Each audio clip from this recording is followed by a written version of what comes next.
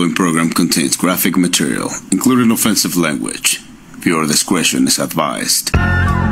She's got the news. She talks with newsmakers. She encourages us to laugh. And she cries with us. Speaking truth to power and questioning authority daily. It's the Nicole Sandler Show. All right, it is a Tuesday. Welcome to it. You know, Tuesdays are the days that we usually hang out with Gotta Laff. Now, Laffy has been doing this show for uh, more than 10 years now. And I'll tell you how I know that in just a moment. But anyway, she is still out. She is dealing with a, an apparently very painful case of tendonitis that has hit both of her hands. And she's trying everything and she's doing physical therapy and she, she makes a little bit of progress and then overdoes it a little bit and has to back off. She's frustrated beyond everything and really wants to come back. And, you know, I, I'm trying to cajole her into it, but uh, we just have to be patient. She'll get there. She'll get here, I guess. In the meantime, um, you know, I'm doing my best to try to bring in fun people to fill her shoes. And today, well, Julianna Forlano will join us. And I explained to her, you know, when Laffy's here, what she does is brings tweets that she finds newsworthy or interesting. And so today we're both going to bring some stuff to the table and see where it takes us. All right. Um, yeah. And a reminder once again that tomorrow I will not be here. Tomorrow, if you listen on the Progressive Voices channel, what you're probably going to get is a show from 10 years ago tomorrow because I've got them all and I figure rather than play something you just heard last week, let's go back into the archives and pull out something, you know, from the past. And 10 years ago, remember, uh, would have been uh, tomorrow, um, April 7th, 2011. And so when I looked up, you know, through my shows on what actually happened on April 7th, 2011, um, well, it was an interesting uh, show.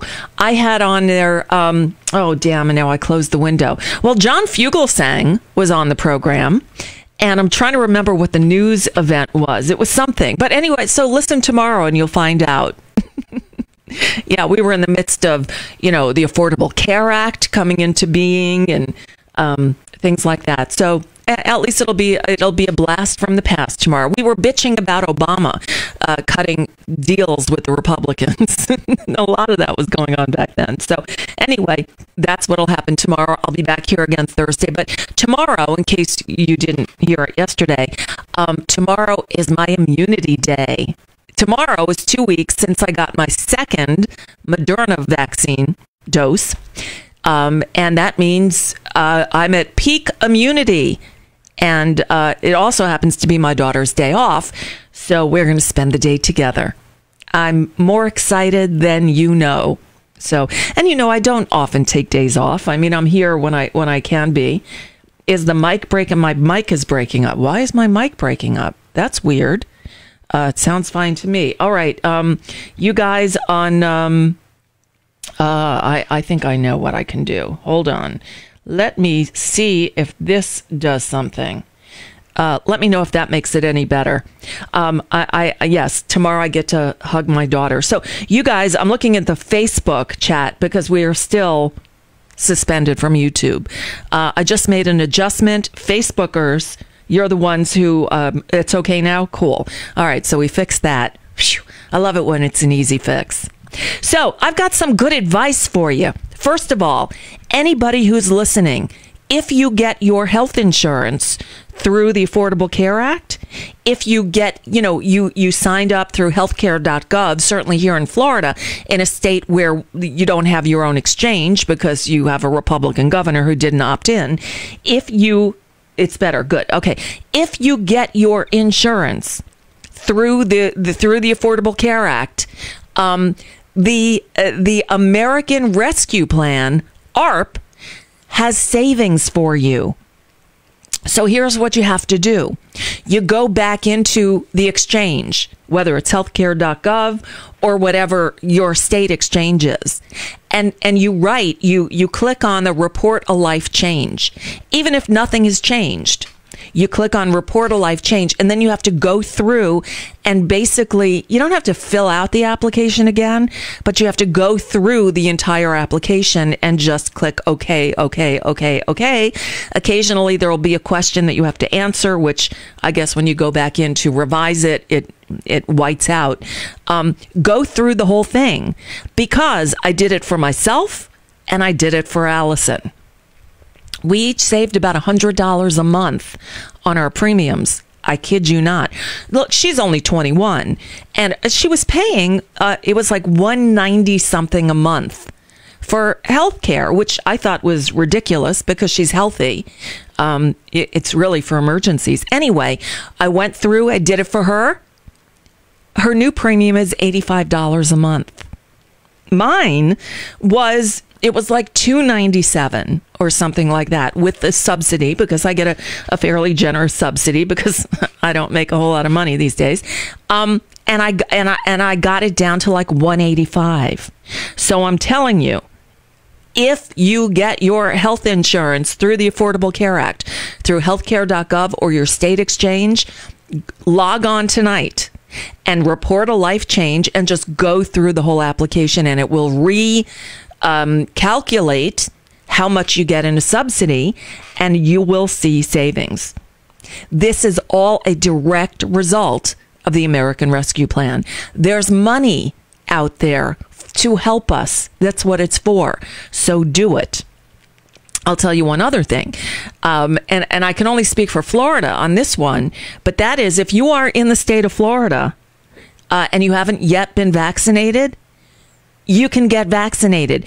The age for getting vaccinated in Florida yesterday was lowered to 18. Actually, in some places, 16. So, um, again, I went to that trusty Facebook group again, which is how I was able to get my appointment. Actually, got David his appointment first because he's older than, you know, 65. Then got my appointment um, the minute they were available for 60 plus. And um, yesterday morning at like 4 a.m., because I was awake, I thought, ooh, today's the day they're lowering the age. I should go online and see if I can make an appointment for Allison. And went to that South Florida COVID vaccination Facebook group, but they have them all over the country. Anyway, went there, saw the link, clicked on it, got an appointment for her to get her first Pfizer vaccine tomorrow at 12:15. So, um, things are falling into place surprisingly. So, there if you have not gotten your vaccine yet, now is the time. And Joe Biden um, made it uniform. Now, originally he had said that he wanted to see uh, everyone eligible for a vaccine by May. Well, he just moved that up to April 16th. So um, I believe it's April 16th is the date. So yeah, if you haven't gotten your vaccine yet, uh, and you're over 16, I think, by uh, next Friday, a week from Friday, everyone is eligible to get one. So don't wait. Um, Let's see. Sandy said, I save over 600 a month getting my husband off my retiree health. He now gets it through, through his state job. Oh, that's good. But, uh, Sandy, if you get yours through the exchange, I, I don't know where you get yours from, um, go through the process again. It, again, go to healthcare.gov. I, I think you're in New York, so you probably don't use that. There, you have the New York exchange. But if you are through the healthcare.gov. I'm telling you, saved Allison and myself both over $100 a month each. So go do it. Uh, I'm seeing all these people saying we're getting my second shot soon. Yeah, it's exciting. I cannot wait for tomorrow. I feel like it's a birthday, like a you know a coming out party. I'm I I, I think we're going to go to the beach. I don't know. So anyway, all that's going on, but there's so much else going on, and I'm trying to figure out where I should go. You know what? Here's where I want to start because I, I didn't have time to get to it yesterday, but I, I, it's important enough that I want to share it with you because when I navigate social media, I'm seeing a lot of Republican talking points about this reprehensible voter suppression law that was just signed in uh, by uh, Georgia Governor Brian Kemp into law. Georgia had the biggest turnout they've had in years. They had fewer problems than they've had in years. And because of that, they want to change it because too many people voted. Too many of those pesky people who vote Democratic voted. So they need to spring into action and make it easier for them to keep you from voting. Now, a lot has been made of the fact that some of the worst provisions in this law were actually taken out because of the outcry and uproar over them. So while no excuse absentee voting, which they wanted to do away with, remains in Georgia, um, do not buy the gaslighting from the right wingers who want to tell you that this actually this law does the opposite of what of what we're we're telling you. They're saying it it it it, ex, it expands voting access. Well, that is pure and simple bullshit. It is not true. They are gaslighting you. They are lying to you because what do Republicans do? They lie. Lie, lie, lie. lie. lie, lie This is their theme song. They lie, lie, lie. Lie, lie lie, lie, lie, lie, lie, lie, lie, lie. That's what they do. So, the New York Times had a great piece a couple of days ago over the weekend um, examining exactly what is in this Georgia voter suppression law. And I will post it today. The entire article I'll post on my blog along with the podcast. Uh, and the video, the Twitter version of the show today, it'll be at NicoleSandler.com slash 4 6 21, because that's the date. But I want to share with you, they broke it down at the New York Times to, I think it's 16, the 16 most significant changes to voting in the state of Georgia as written into this new law. Because I'll tell you something the gaslighting is so thick, the propaganda is so strong, and they're everywhere. I'm telling you, I was uh, a, an old friend of mine from high school. The only way I stay in touch with her is through Facebook, and she's she you know she's a it seems to be one of us. You know she re, re posts the stuff I put out there. I mean she she seems very progressive. But on her page, she wrote something about this Georgia voter law, and the guy who I believe is her brother posted you know, post after post after post of right wing talking points, basically gaslighting her. And I didn't want to get into it between, you know, brother and sister. That's not what I want to do. Um, but I, I did tell her, do not let him gaslight you. And I, I posted the link to the story. But there's so much of that going on. Um, they will do that at every turn. They try to knock you off your game. So I want to make sure you have the facts. So, what is in this Georgia voter suppression law?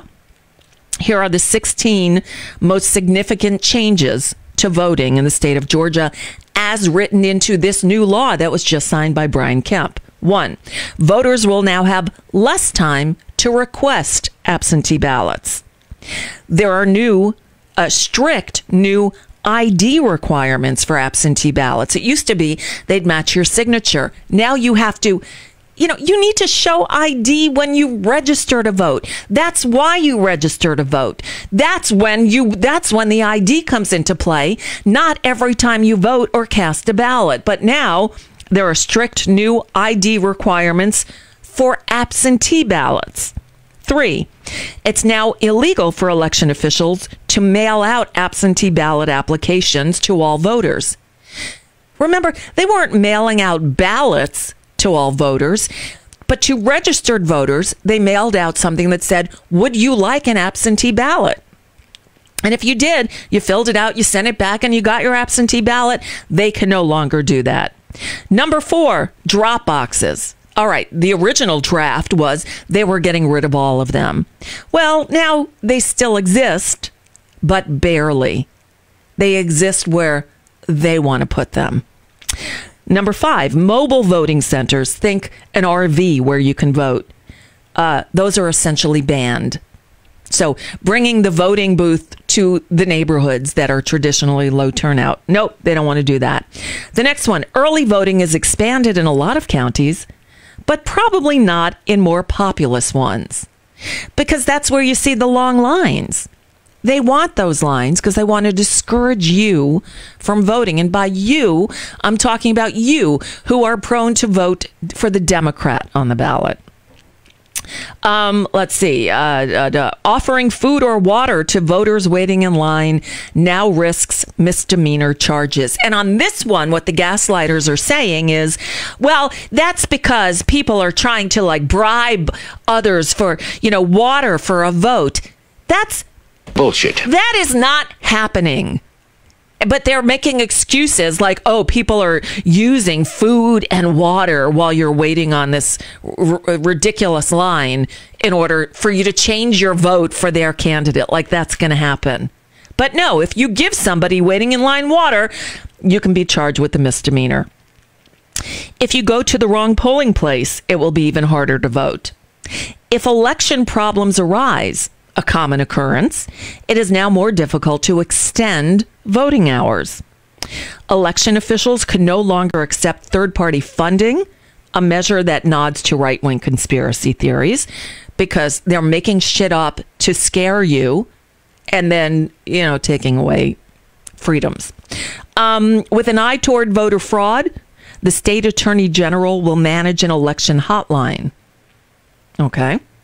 The Republican controlled legislature has more control over the state election board. It shouldn't be that way. Elections should be nonpartisan, not even bipartisan, but nonpartisan. And in this way, the Republican controlled legislature gets additional control over the election board. The Secretary of State is removed as a voting member of the state election board. That was the principal job of Georgia's Secretary of State to oversee elections, and he actually did a really good job of it. But because he wouldn't break the law and do Donald Trump's bidding and overturn a legitimate election, this provision is now in the law, and the, the Georgia Secretary of State is removed as a voting member of the state election board. Two more. The Republican led legislature is empowered to suspend county election officials. Again, the county election officials are nonpartisan, or they should be. I think they are. But the Republican legislature can remove any of the members at will and suspend them. Lovely. And finally, runoff elections will happen faster and could be harder to manage. So those are the 16 biggest takeaways. But make no mistake, the reason behind this legislation is to exert further control over the voting and to keep the people that they don't want to vote from voting. And the people they don't want to vote are people of color, minorities, low income, anybody prone to voting for the Democrat on the ballot. So, again, this article from the New York Times uh, was published on the 2nd. So, the 2nd was uh, Friday. And the headline is What Georgia's Voting Law Really Does. And it's a 98 page document, the law. And um, again, the New York Times pulled out those key 16 key provisions that will limit ballot access, potentially confuse voters, and give more power to Republican lawmakers. And that that is why ML Major League Baseball pulled the All Stars game from Atlanta. That is why uh, companies like Coca Cola and and and Delta Airlines and others are uh, putting out warnings because what they're doing in Georgia is undemocratic, and it's not only Georgia because coming up right uh, on their tail is Texas, is Arizona, is Florida, and many more states that, you know, I'm not, uh, I don't have in a list in front of me, but it's happening. I think it's 43 states around the country. There's something like 253 new pieces of legislation that are uh, devised to limit your voting um, access this is not where we need to go. It's 2021. We need to reconfirm the John Wrights Voting Act. We need to pass the For the People Act. We need to, you know, uh, speaking of the For the People Act, in fact, let me do this because uh, hopefully I still have it here. Uh, let's see how organized I am. I came up with, I found, I didn't come up with anything. I found a um, a really good explainer. Here it is. Um, it's just part of the story, but HR one, which passed in the House, the For the People Act, is now S one as it goes to the Senate. And um, there's a, I don't even know who put this together but one of the you know also one, moving through whoops, Congress. hold on. One of the progressive progressive groups put together this video on exactly what the for the people act is and how you can help make it law. So this is a good time to play that i think. So here we go um, listen up Also moving through Congress right now is the For the People Act, also known as H.R. 1 in the House and S1 in the Senate. Here's a quick explainer video on what exactly the For the People Act does and why it's so crucial that it becomes law as soon as possible. Voting rights are under attack. Yeah, From they city are. councils to state houses to the U.S. Congress, Republicans are trying to make a broken system even worse by passing racist voter suppression laws, allowing dark money to influence our elections, and corrupting our democracy to hand power to conservative interests. We can do something about it by passing the For the People Act, also known as H.R. 1 or S1, a comprehensive bill that targets voter suppression, gerrymandering, money in politics, and more. The For the People Act will make it easier to vote with automatic and same day voter registration, expanded early voting, and even more significant voter protections. It'll make our democracy work for everyone by limiting the role of big money in politics and ending gerrymandering so that voters can choose their elected officials and not the other way around. The For the People Act will make our democracy more just by rooting out corruption, locking the revolving door between corporate lobbyists and the government, and demanding transparency at all levels of government. We must work to unrig our democracy so that every American has an equal and powerful voice in our government. And that starts with passing the For the People Act. Yeah. Call your members of Congress today. With Joe Biden in the White House and Democrats in control of Congress, now is the time to pass big, bold, structural reforms to make our democracy more just, to make it stronger, and frankly, to make it work.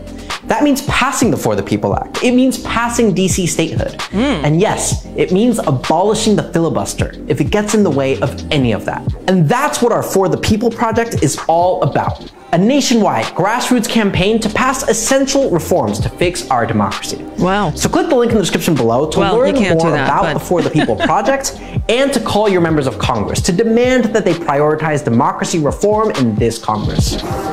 Okay, so that was from Indivisible. That's who put it together, indivisible.org. So thank you to them for that nice little explainer.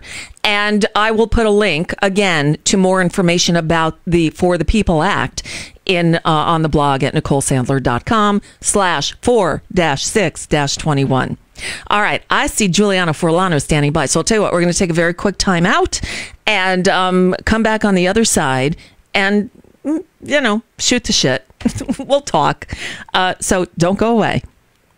We'll be right back. And, and I'll tell you what, hopefully it's working today. And while Progressive Voices is in an ad, I'm going to play for you my Mother's Day commercial because I have something to offer you um, that makes a great Mother's Day gift or Father's Day gift. And, and I've been told my prices are too cheap. Anyway, here, here, cue the videotape. Hey, it's Nicole Sandler. Before the pandemic hit, I spent my weekends volunteering at our county's animal shelter, working with the dogs, trying to find the perfect humans to adopt them and take them home forever. Well, on March 22nd, 2020, Broward County, Florida shut it down, and I've been home ever since. In September, I bought myself a How to Paint Watercolors book, and something clicked. I quickly moved up to acrylics, and I started my creative exploration. I surprised myself with a few random paintings, and finally, when someone asked if I'd paint her cat, I thought, I'll try. I'd never done it before, but I said I'd give it a shot, and here's the result Buddy. I posted Buddy's before and after photo online, and another friend asked if I'd paint her dog, Char. I made no promises again, but tried, and surprised us all. Well, it's now April of 2021. I've been fiddling with my acrylics for about six months. I still paint random pictures, but my favorite subjects are pets. Mother's Day is right around the corner, and Father's Day soon after that. Now is the perfect time to commission a pet portrait for the mother or father in your life. custom pet portraits for human pet parents. For more information, visit NicoleSandler.com slash pandemic dash painting or shoot me an email, Nicole at NicoleSandler.com. Give the mothers and fathers in your life the most special gift imaginable a custom pet portrait painted by me. It's the gift that'll last a lifetime.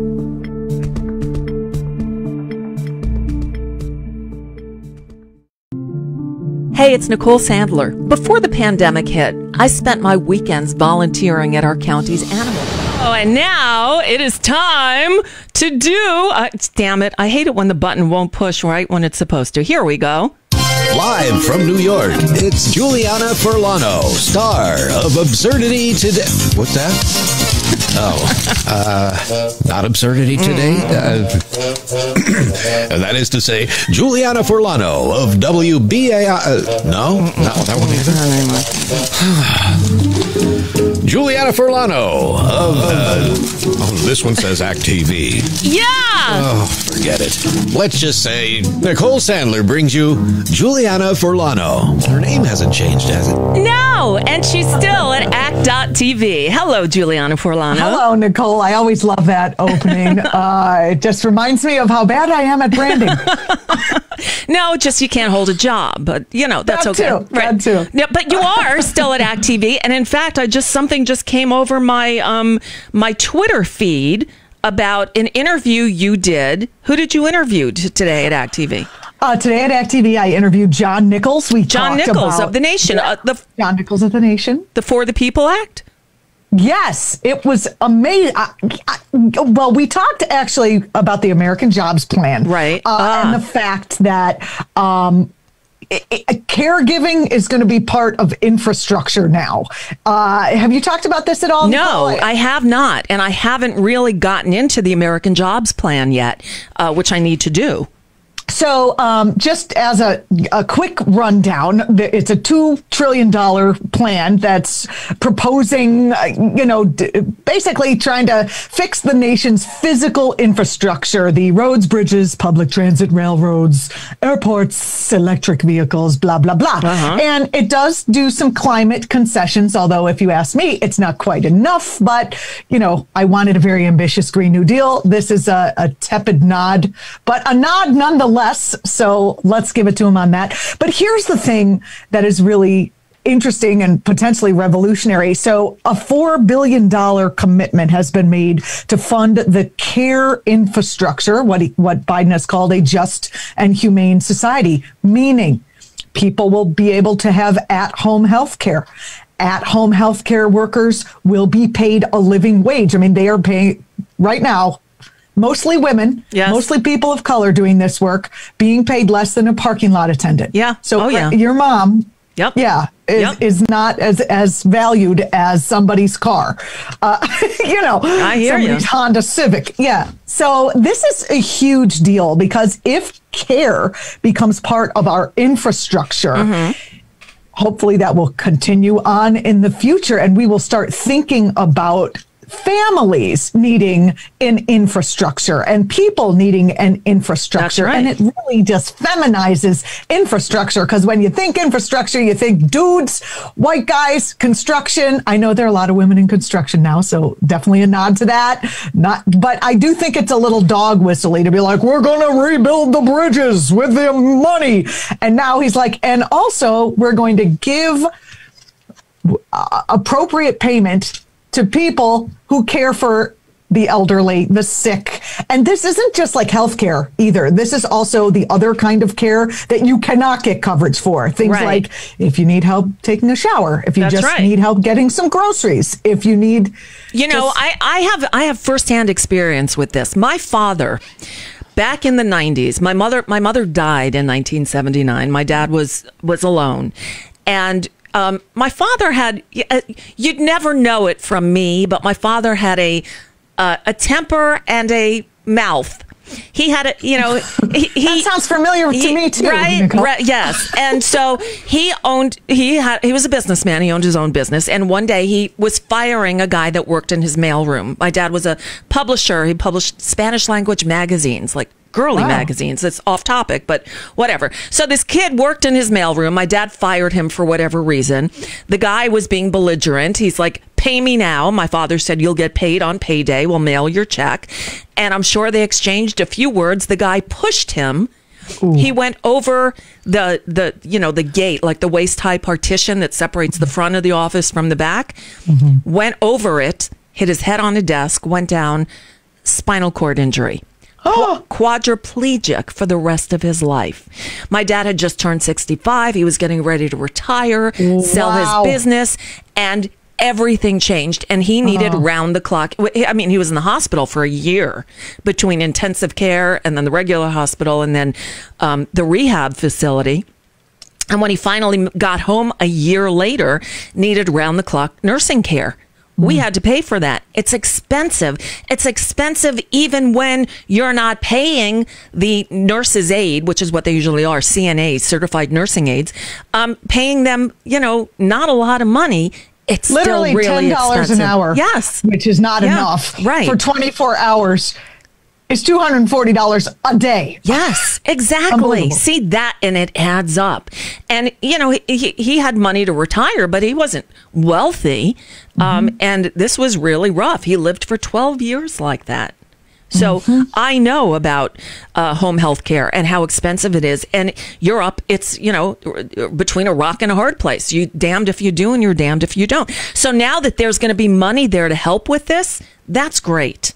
So this is kind of cool because in the conversation I had with John from the Nation, uh, he, what he said was, if this passes, and it's probably possibly going to be the first thing that gets dropped.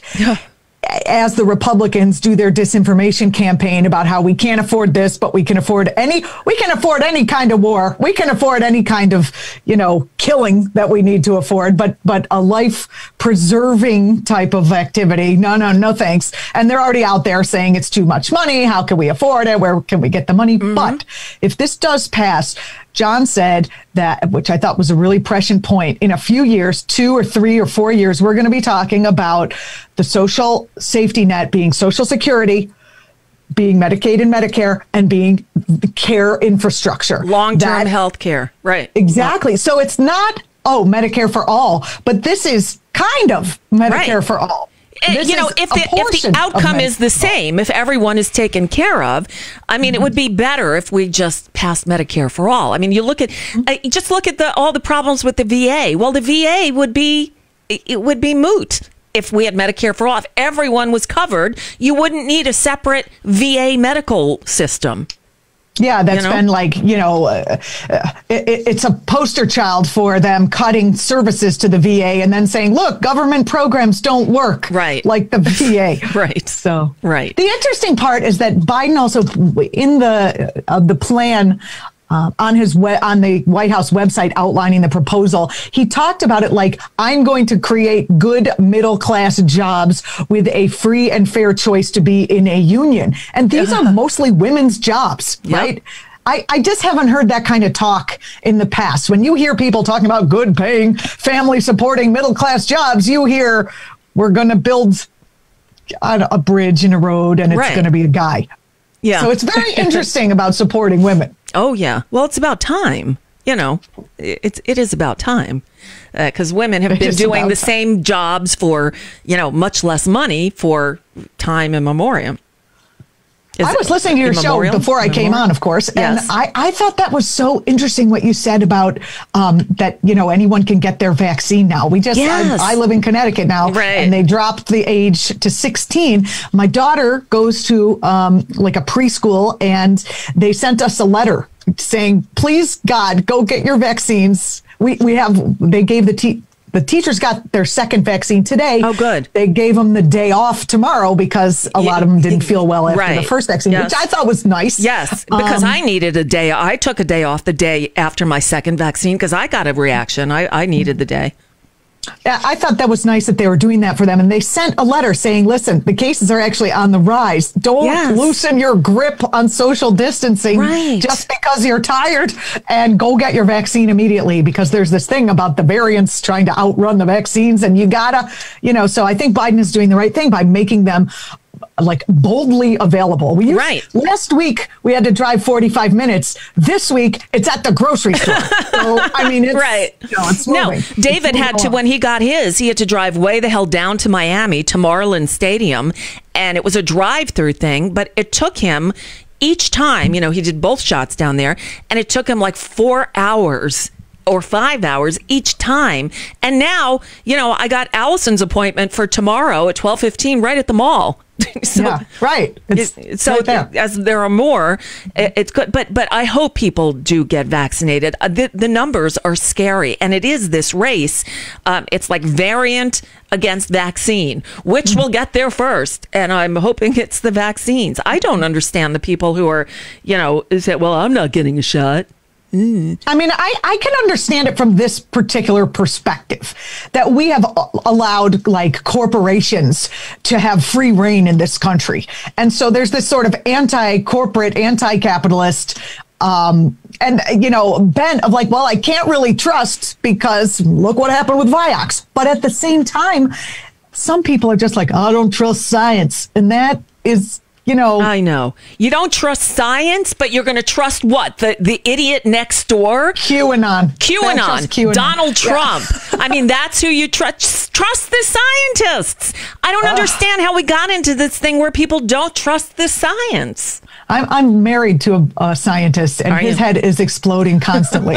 I'll bet. I will bet. I, I don't get it. Speaking of things we don't trust, I don't know if you heard this, Julianna. I, I was kind of livid this morning.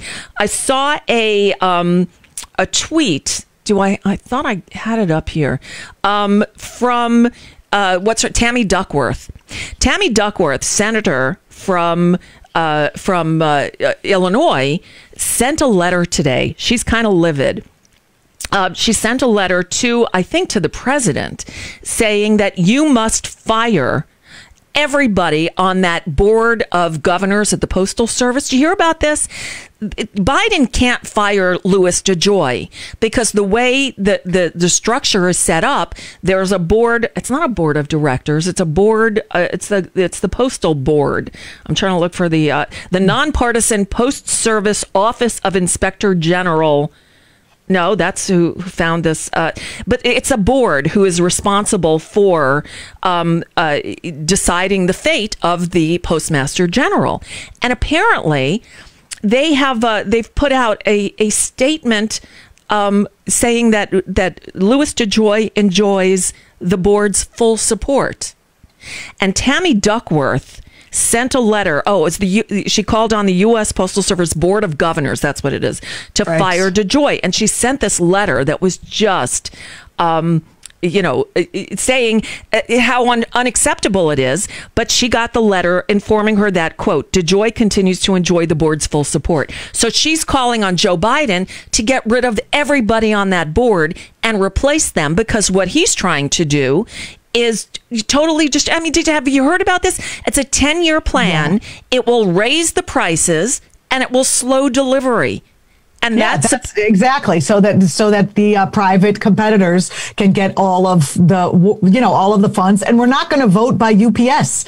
I, even if we were going to vote by UPS, we don't trust UPS to deliver all the votes. you know, they're a private corporation with no oversight. Right, exactly. So, um, a listener sent me. You know, I, I like I like playing these these song parodies, and a listener sent me this, and I like it because it's a friend of his. It's just a guy who is a postal worker who put together a little song for Louis DeJoy. Would you like to hear it? Please, one of my favorite things. Cool. His name is Mike Stout. So, uh, with no further ado, this is Mike Stout, and the song is called Louis DeJoy Must Go. My name is Mike Stout. In March 1970, I worked at the Grand Central Station Post Office in New York City at Lexington and 45th. We were making $2.95 an hour. We had no benefits. We had no grievance Ooh. procedure. We had no rights whatsoever. Local in the Bronx called for a walkout. Grand Central Station was the first one to walk off the job, and we led a nationwide wildcat strike. Good for So them. I'd like to dedicate this song to all you postal workers out there, carriers and clerks. The original was by the Kingsmen.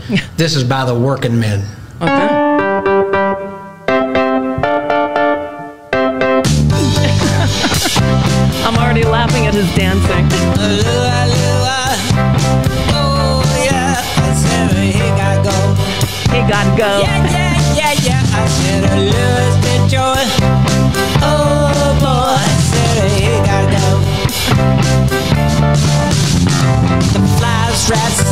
flies, rotting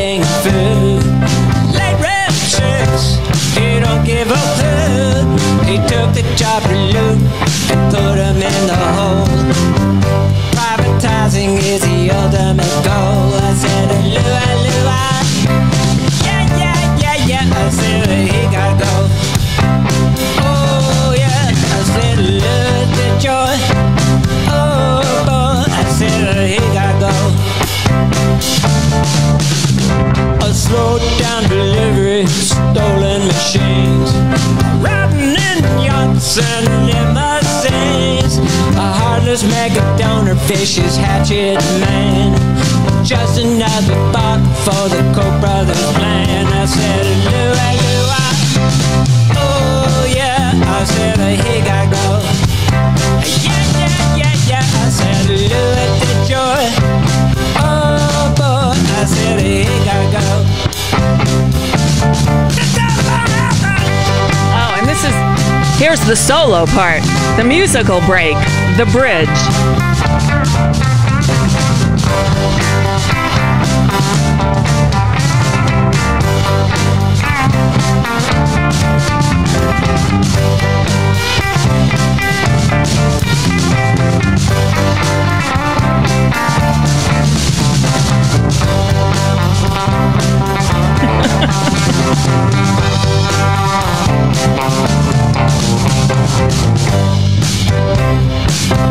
If you're only listening to the audio, you're missing the dance moves. Cracking the whip, skunking, jumping, captain, grounding the ship. Just another move in a fascist coup. Grab them handcuffs and bid him adieu. Lua, uh, lua. Oh yeah, I said he gotta go. Yeah, yeah, yeah, yeah. I said Louis DeJoy. Boy, I said he gotta go. I said he gotta go now. We said he gotta go now. Ah. there you go. All right. Uh, so Mike Stout is his name. Good stuff, huh? Ah, I got to turn you back up. There you are.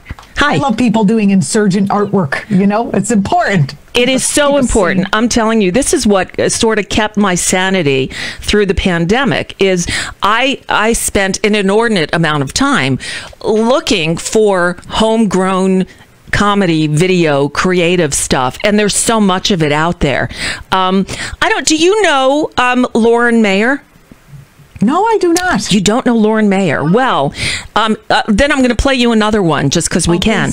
And Lauren Mayer. Lauren Mayer has been doing this forever. She's been she's been making these videos and and doing these song parodies since long before the pandemic started.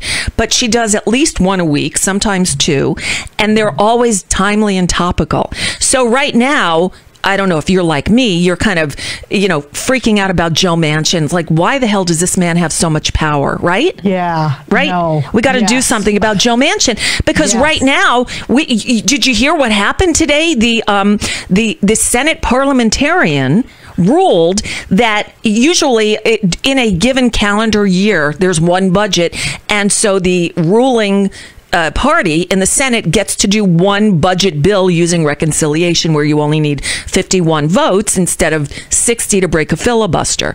The Senate parliamentarian said, not anymore. We can do more than that. But Joe Manchin saying, well, I don't know about raising the corporate tax rate. Such a jerk. I mean, is he a Democrat or not? And he just Well- what thinks like West Virginia will vote for him anyway, just because.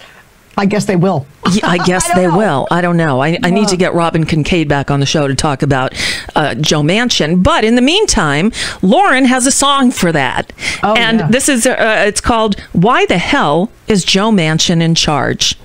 Good question, right? Good question. Well, let's find out. We had an election, which Democrats won, with a long list of things that we'd like to get done to tackle injustice, to heal our poor nation. It can't all be passed using reconciliation.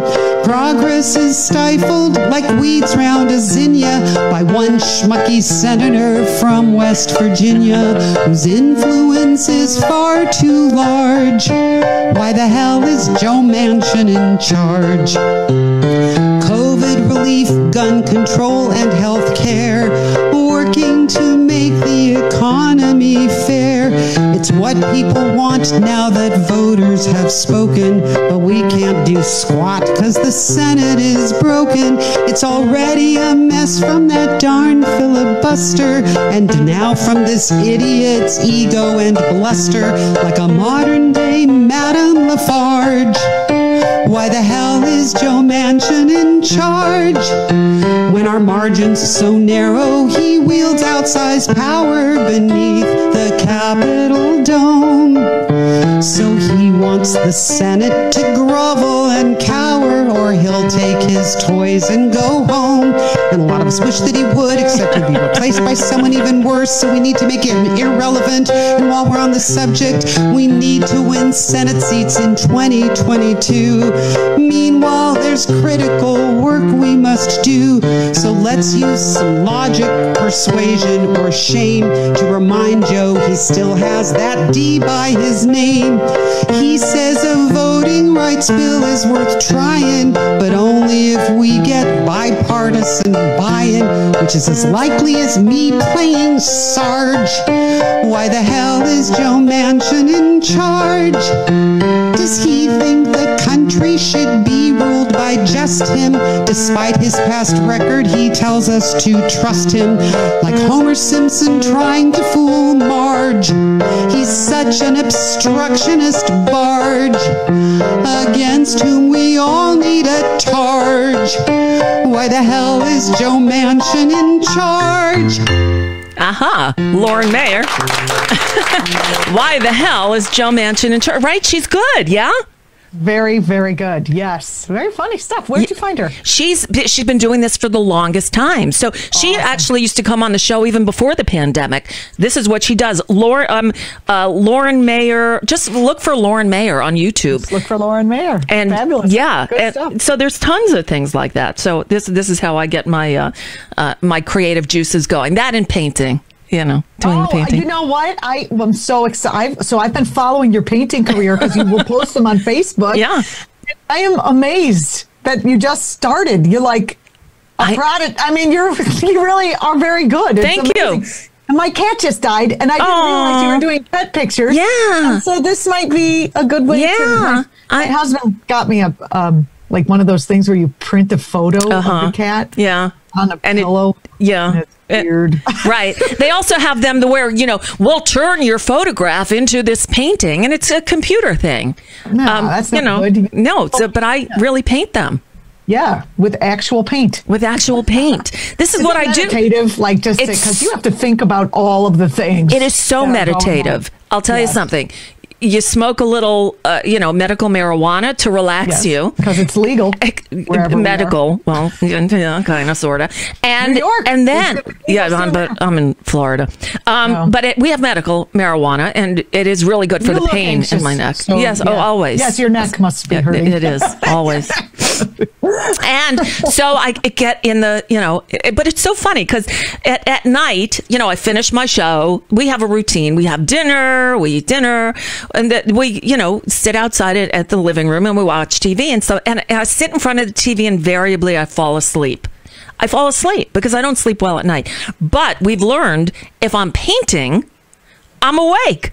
So I can watch TV out of the corner because I can't just sit and watch television. I just can't do it. Just- so it I paint. Right. And, and and then I'm awake and David's like, all right, midnight, I'm going to sleep. It's like, all right, I'll like, be I'll be "Oh." I'll be along in a little while at two in the oh morning. I'm like the snout right. Yeah. so that's that's life here. But starting tomorrow I I, was falling can go asleep out. a lot after putting my daughter to bed, and I thought, well, this is great. At least I'm not up binge eating. So this is kind of caught this. Now your daughter seems like she was just born yesterday. What is she now? Like Oh five? my God, she's five. turning five next week. It's crazy. Oh I'm planning my first. It's weird to be like a comedian, political satire person because part of that job is to be like bitchy and punchy and to say stuff that needs to be said. And so Uh-huh. I feel like I've had to take my entire personality and like put it in a little box so I can be like really present. And um, you know, she still says fuck. So Does she? It- you know, it's so adorable. I tried. When we hear the little kids say fuck, it's so cute. And you don't want to laugh in front of them because you don't want to encourage them, but it's just so adorable. It is so cute. And honestly, I've listened to Sarah Silverman talk about when she was little and she would say swear words and her father would think it was funny and all the adults would laugh. That's kind of what got her into like, you know, her career. So I'm like, great, Lucia, you can follow my footsteps if That's you want right. to. You can do a mother daughter writing. act. You do the like the Joan and uh, no, never mind. I was just going to say Joan and Melissa Rivers, but no, no, no, Melissa. no. That's Yeah, right. That's no. fine. Eventually, someday, I'll have all the same face fallings. No, but you won't have all the surgery. I hope. if it's free under the new Medicare Act, I'm Um, gonna say no. Fix my face. Right. By the No, way, um, uh, Air Force vet just tweeted at me. He said, I won't speak for others, but I've been using VA healthcare for the last six years and I find it to be excellent. Zero complaints. That's good. I'm just saying we don't need, if we had Medicare for all, we wouldn't need two separate systems. he might be speaking back against against against what I said about how yes, Maybe. good. I'm glad you made that point. Yep. that's yep, very good. Yep, absolutely.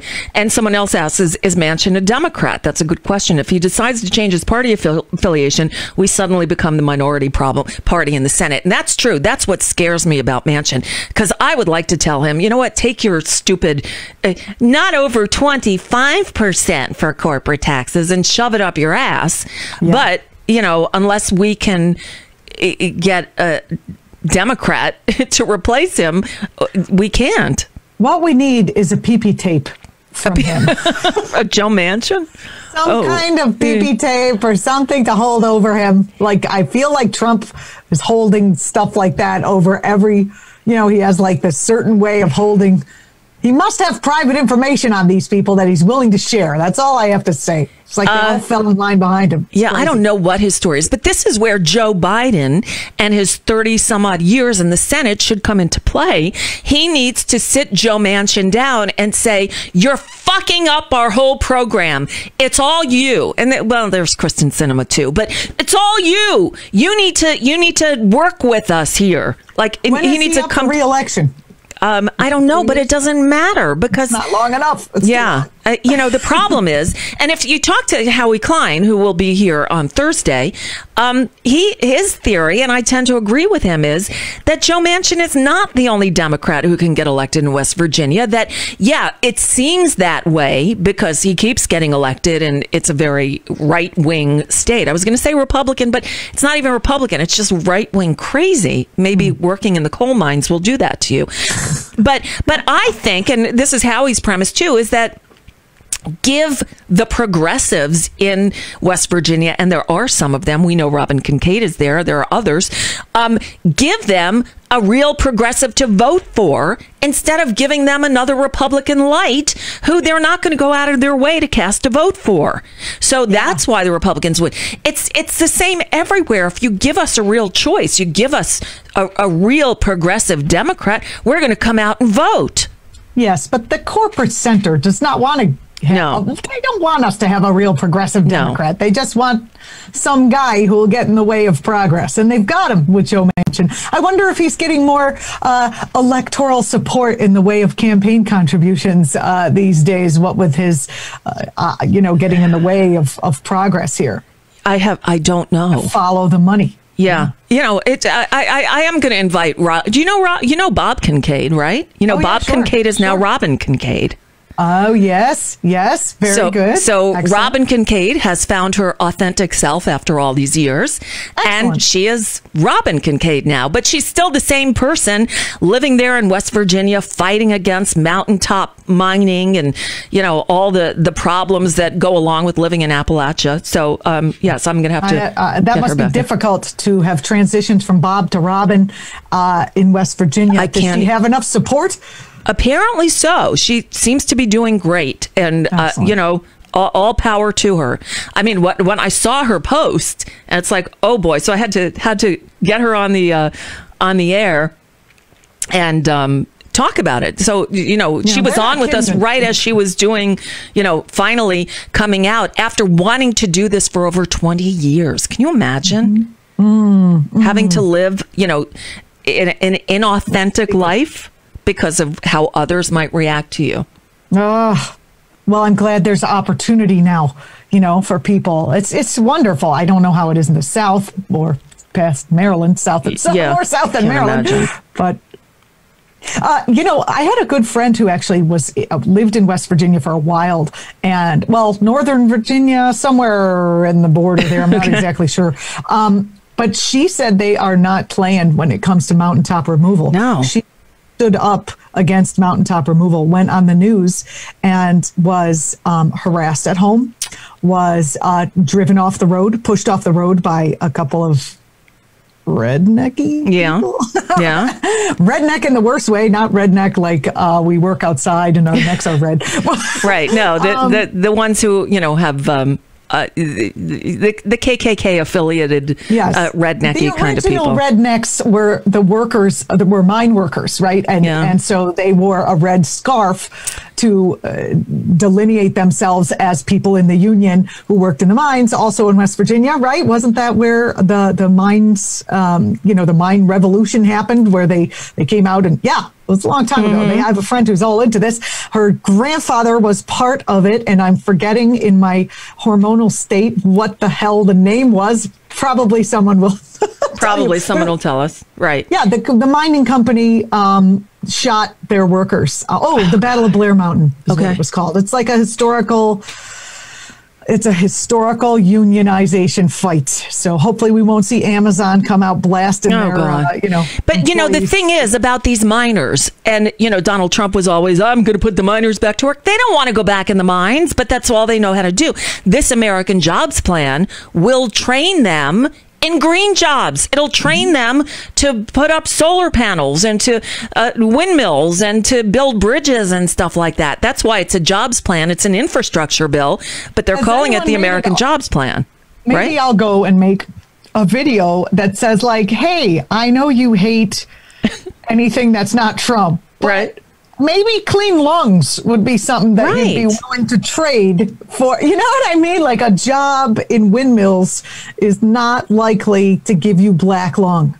Yeah, exactly. Exactly. Why what why would you want to go back into one of those mines? Yeah. And I don't think they do. I just think they want to work. I mean, I'm Italian, so a lot of our a lot of Italians were went worked in mines back in the day, a couple generations before me. So I'm not too far from from uh, the children of of my of being a child of miners. My husband, his grandfathers, I think, worked in the mines, and his great grandparents all worked in the mines. And Wow. they didn't live long. Let's just put it that way. I'm sure. Well, speaking of Italian, I, I got have you been watching um, Stanley Tucci discovers Italy? Isn't that great? Oh, I still wanna believe you brought go. that up. I'm so happy. I want to go. I want to go. I mean, I want to go with Stanley Tucci. Yeah, really? Yes. Okay. let's let's it's make it good. so. I mean, it's exactly what we needed. I don't know if they were prescient, but it was exactly what we needed. It's like traveling, although you don't get to taste the food. But again, then I don't have to get the weight off at Right, the gym yes. later. and, And, it, know, it's Stanley Tucci is- pre-COVID. These these episodes are mostly pre-COVID, so it's like when life was easy and you could just go to Italy and eat. Yeah, it almost seems like talking about just like this delicious food is is not. Everyone is so on edge. Like, what are the numbers? Vaccines. Right, What's happening? I know. You know that like taking a, an hour out to talk about food is Mm-hmm. like you know the thaw of like maybe we're going to be able to get beautiful things back into our lives again and not just be on high alert constantly. Well, speaking of tomorrow, because tomorrow is my immunity day, I'm taking the day off. I'm going to be with my daughter. I'm going to hug her for the first time in probably six months uh, Wow. because she moved out so she could work because she couldn't go to work and then come home to a house with me and David where we're both old and at risk. So she moved out so she could have a life. And I have not, you know, I've seen her through masks and face shields and a distance.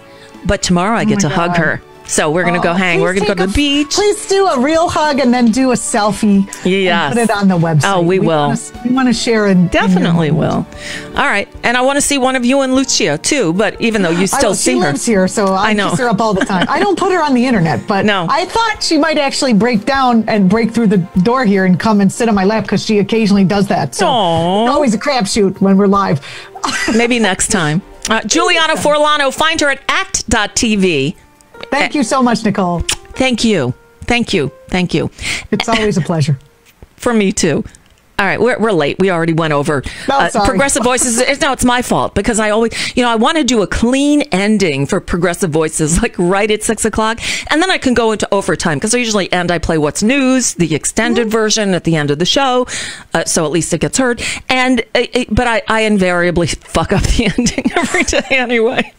Oh well. I know. I listen to progressive voices all the time, and uh, you know, they okay. It's a commercial. You know, like right. oh, You- was- it- what happened? Right. It's normal to have something not not run Yeah. smoothly, like to have But a show cut off in mid word.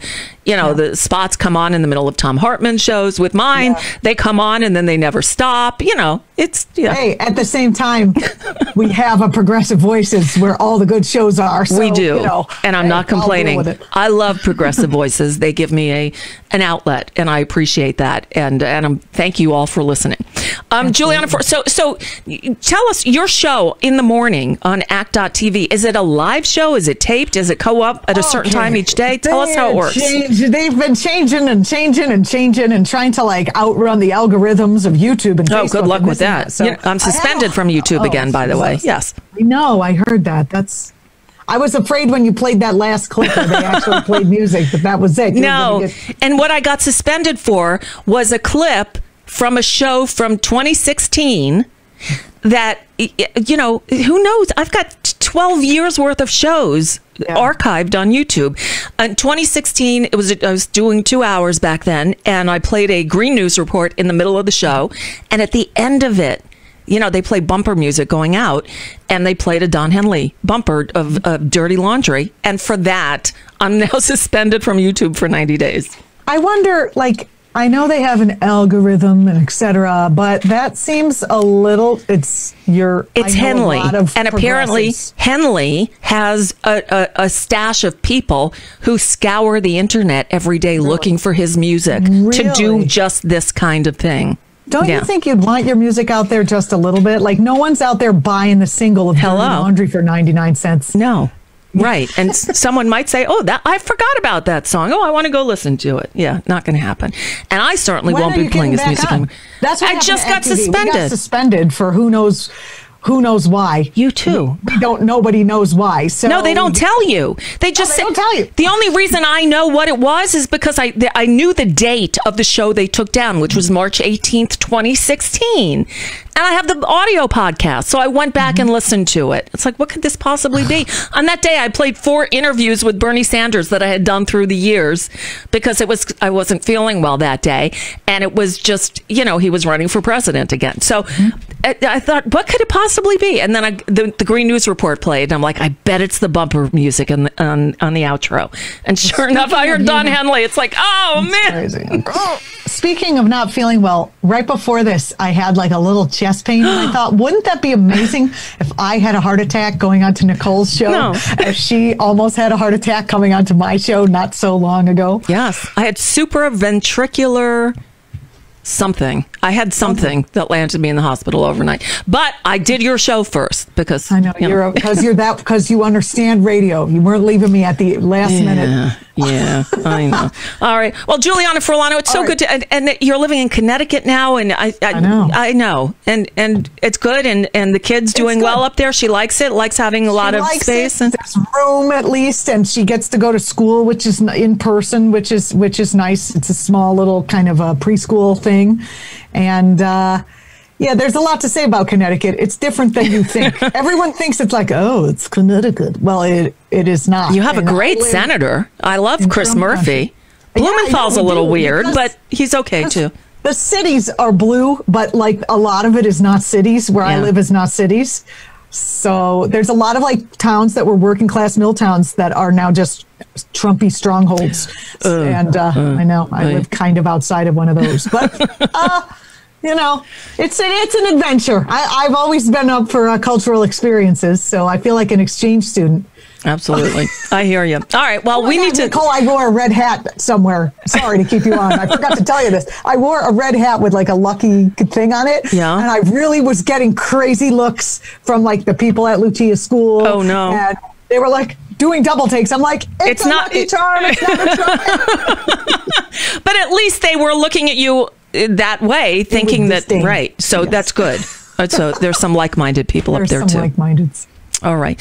Um, Thanks, Julianna Nicole. Forlano, we will talk again soon. Thank you so much for joining Okay. us today. And Thank Laffy you. says It hi. joy. Okay. Oh, for me too. yeah. Hi to Laffy. Love her. Hi to okay. Laffy. Okay. Bye. All right. And for everyone else, I'm going to leave you with uh, today's What's News because you wouldn't know it, but there's there's news going on. So um, take it away, Nicole. I read the news today, oh boy. It's time for Nicole Sandler's What's News from NicoleSandler.com and the Progressive Voices Network. Week two of the trial of former Minneapolis police officer Derek Chauvin for the murder of George Floyd commenced on Monday with compelling testimony from the Minneapolis police chief. Medaria Arradondo testified that former officer Derek Chauvin violated his training and the department's policies by pressing his knee onto George Floyd's neck for nine minutes before Floyd died in custody last year. Once Mr. Floyd had stopped resisting, and certainly once he was um, in distress and trying to verbalize that, that should have stopped. There's an initial reasonableness in trying to just get him under control over the, in the first few seconds, but but uh, once there was no longer any resistance, and clearly, when Mr. Floyd was no longer responsive and even motionless, to continue to apply that level of force to a person proned out, handcuffed behind their back, that uh, in no way, shape, or form is anything that um, is by policy, is not part of our training, and it is certainly not part of our ethics or our values. Again, that is Minneapolis Police Chief Medaria Arradondo with some pretty damning testimony. If you felt the earth move on Monday, it could have been one of the swarm of little earthquakes that shook the Los Angeles area in the early morning hours. Or it could have come from Washington, D.C., where the Senate parliamentarian issued a game changer of an opinion on Monday. Elizabeth MacDonough, the same Senate parliamentarian who ruled last month that the $15 an hour minimum wage could not be in a bill under reconciliation, more than made up for that ruling on Monday. This time, she ruled that the annual budget resolution can be revised to include new reconciliation instructions.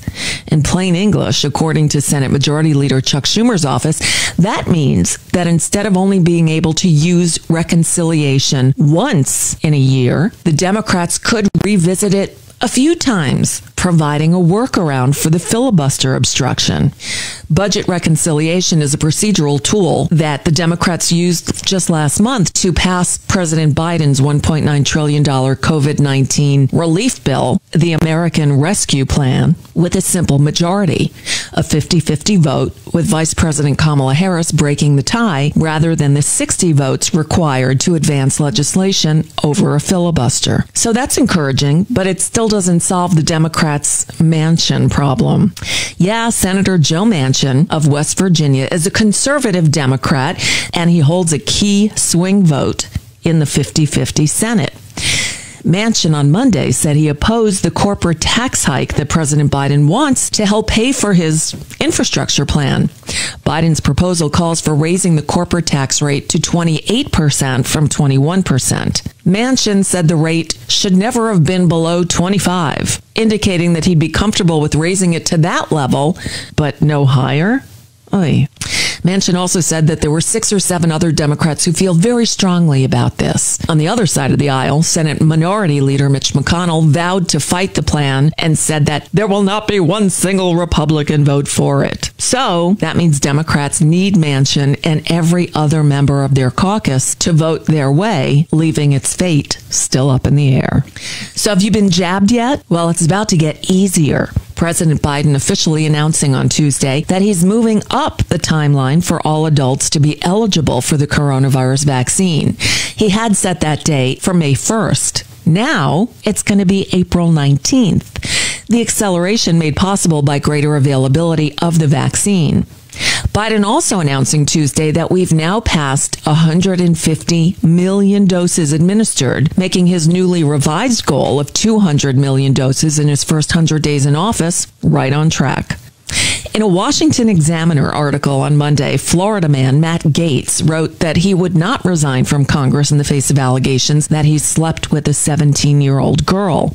Reports last week revealed that the Justice Department under Donald Trump's Attorney General Bill Barr, launched a sex trafficking investigation to determine whether Gaetz illegally transported teens across state lines for sex. The 38 year old Gaetz said political enemies who were angry because he, quote, loathes the swamp had something to do with the allegations. He wrote, First, I have never, ever paid for sex. And second, I, as an adult man, have not slept with a 17 year old.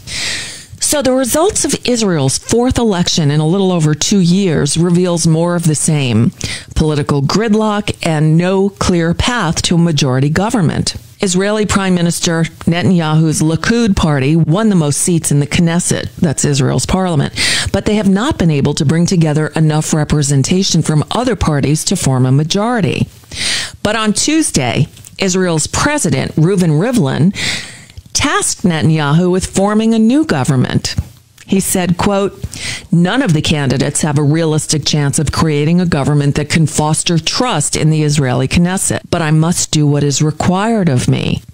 He added that despite his personal opposition, a prime minister is permitted to also be actively standing trial according to the law. He continued saying, quote, it's not an easy decision on an ethical or moral level. I fear for my country.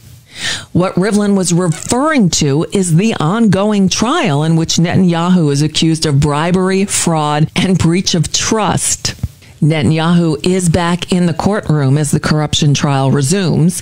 Again, he faces charges in three separate cases, the most serious of which have to do with him allegedly giving financial favors to political allies in exchange for favorable news coverage. Wow. Unless he's granted special permission, Netanyahu may need to attend the entire trial. Efforts to revive the 2015 Iran nuclear deal are picking up on Tuesday with a meeting in Vienna between Tehran and the five world powers that stayed in the deal after the former guy withdrew the United States. The U.S. is also sending a delegation after announcing on Friday that the U.S. and Iran would start indirect talks on returning to the agreement on curbing Iran's nuclear program. Iran has reportedly violated the terms of the deal, accelerating its uranium enrichment since the U.S. pulled out and imposed new sanctions, which had been relaxed under the terms of the agreement. President Biden said when he took office in January that he was making it a priority to get Iran back within the international restrictions established under the deal. And finally, Major League Baseball has announced where they're moving the All Star game after deciding not to play in Atlanta. And the new destination is Denver. Play ball, Colorado. I got the. And that's just a bit of what's news for now. I'm Nicole Sandler. If you appreciate these reports and the Nicole Sandler show, I hope you'll consider making a contribution. My work is 100% listener supported, and I can't do it without your help. Find out more at NicoleSandler.com and please click on that donate button.